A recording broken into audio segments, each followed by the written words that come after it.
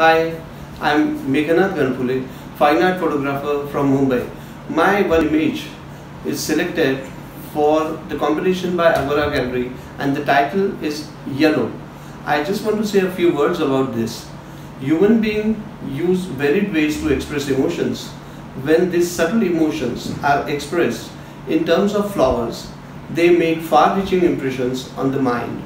When an artist expresses his ideas, moods and emotions through the forms, textures and colors of flowers, the viewer senses beauty and liveliness far beyond one's imagination. Flower petals, their tenderness, delicateness and hues have inspired me. Forms, textures, colors, fragrances, translucence, opacity and the very whole existence of these elements are capable of expressing vivid emotions very easily.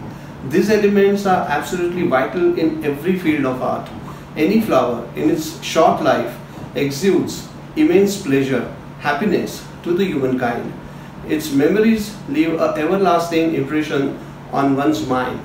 There is one quote by Irving Penn that a good photograph is one that communicates a fact, touches the heart, and leaves the viewer a changed person for having seen it.